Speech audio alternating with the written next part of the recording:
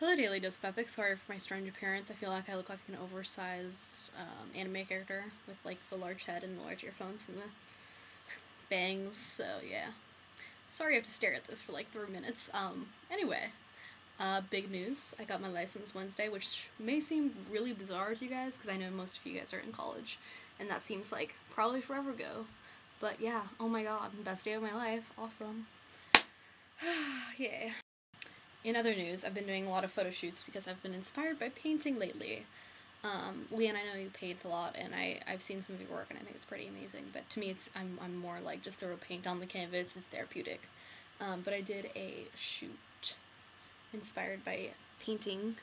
Um, I got my friend, who was a well, she's kind of a painter, I guess. I don't know. I painted this thing, and then I got a razor and I cut a hole where the head should be, and I put her head in, and we did a really cool shoot. And I painted her face like white geisha, and like really deep red lipstick, and it was like the painting coming to life and her breaking through.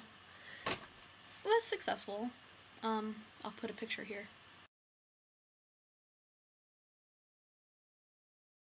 Uh, Benji, I only watch football, tennis, and the Olympics. Um, so as far as sports go, I'm pretty uneducated. So thank you for the little update on your your sports class. Um, football, my family roots for the Bears, Chicago Bears, because that's uh, my mother's hometown, and I've been there a few times. It's, oh, I love that town. Um, that's where majority of my mom's family lives. Chicago and Italy.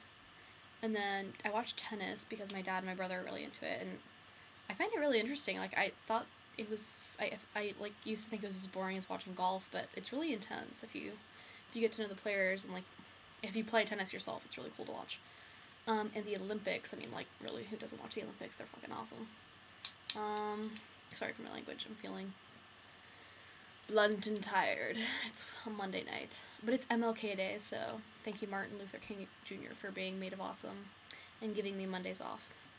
Woot woot. Um, Leanne, I watched your video um, before I made this video, but I forgot to tell you that, oh my god, I love your cat's name so much, especially since I just finished Will Grayson, Will Grayson.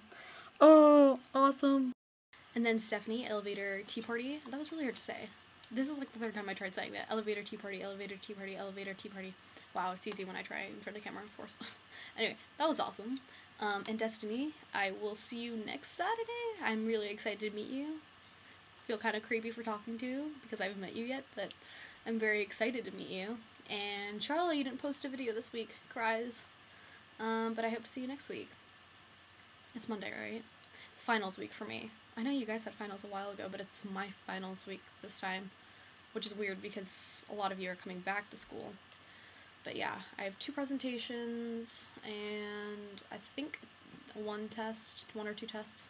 It's not that bad this week. I'll survive. And I have two half days. And it's four day week because we have two day off. So, and I have my license. So, it's been pretty good. I just need to sleep more and drink less coffee. You should have saw me today. I had like four cups of coffee because I couldn't focus on homework, and my stepdad's doing reconstruction. So he was like using the jackhammer, and so just imagine me twitching already from coffee, and then like the sound of a jackhammer. So I was like twitching every five seconds. Like, it was, it was really creepy. um, but anyway, I had a relatively good Monday. So I hope you guys have a good rest of the week, and I love you all. And I hope to see you Saturday at, sorry, excuse me, Destiny. So yeah, don't forget to be awesome.